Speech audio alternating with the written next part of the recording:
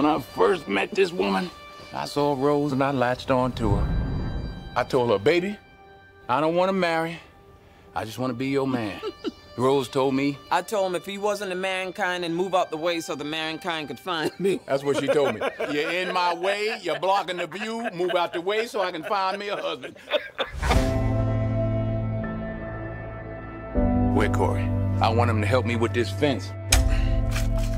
He got recruited by a college football team. It ain't gonna get him nowhere. If he be like you in the sports, he gonna be all right. Ain't but two men ever played baseball good as you. And what'd it ever get me? I ain't got a pot to piss in or a window to throw it out of. Hey, Pop, can I ask you a question? How come you ain't never liked me? What law is there say I got to like you? A man is supposed to take care of his family. You live in my house, fill your belly with my food, put you behind on my bed because you're my son. Now, don't you go through life worrying about whether somebody like you or not. You best be making sure they're doing right by you.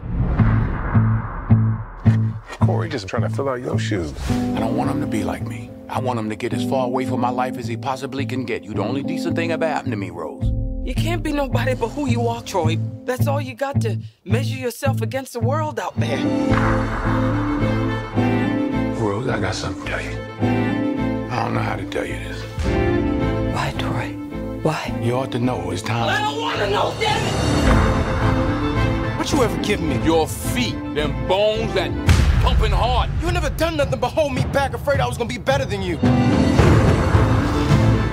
Everything that boy do, he do for you.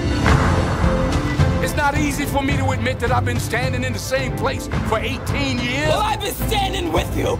I got a life too. Don't you think I had dreams and hopes? What about my life? What about me?